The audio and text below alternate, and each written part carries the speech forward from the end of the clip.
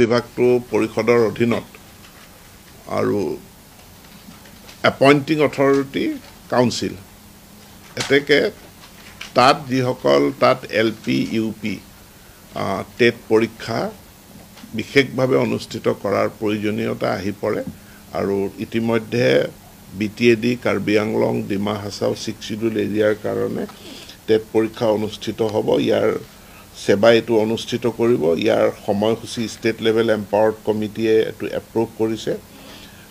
Kokrajhar Baksa Udalguri Dima Hasao Karbi Anglong west Karbi Anglong এই ছখন জিলাৰ কাৰণে পাঁচ তাৰিখৰ পৰা অৰ্থাৎ আজিৰ পৰা আবেদন গ্ৰহণ কৰাৰ প্ৰক্ৰিয়া আৰম্ভ হ'ব। হয়। পৰীক্ষা অনুষ্ঠিত হ'ব ত্ৰিছ এপ্ৰিল। ষষ্ঠ অনুসূচী অন্তৰ্ভুক্ত কাৰ্বি আংলং ডিমা হাছাও আৰু বি টি এ ডি।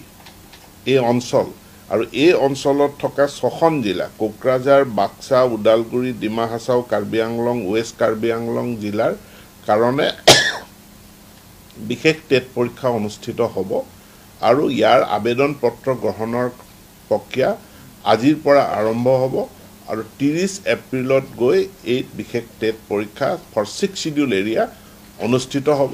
এইটো এইকাৰণেই বিশেষ যে ইয়াৰ এপইণ্টিং অথৰিটি তেওঁলোকৰ অট'নমাছ কাউন্সিল অসম চৰকাৰ নহয় বা আমাৰ ডাইৰেক্টৰেট ইয়াত নহয় এতেকে তেওঁলোকৰ কাৰণে কিন্তু পৰীক্ষা যি চেণ্ট্ৰেলাইজড আমাৰ অথৰিটি আছে অথৰিটি অনুষ্ঠিত কৰিব।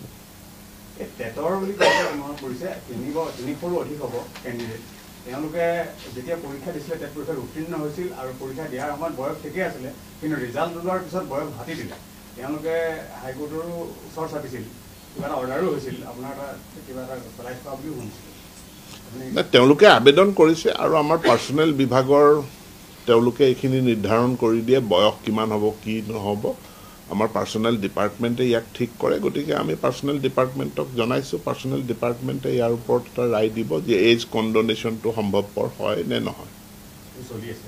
হয় ডিপাৰ্ট তেওঁলোকে জনাই দিব। আমি কম্পিটেণ্ট অথৰিটি আমি শিক্ষা বিভাগ মানে কিমান বয়সলৈকে মানে এইটো ইলিজিবল সেইটো নিৰ্ধাৰণটো আমি নকৰোঁ।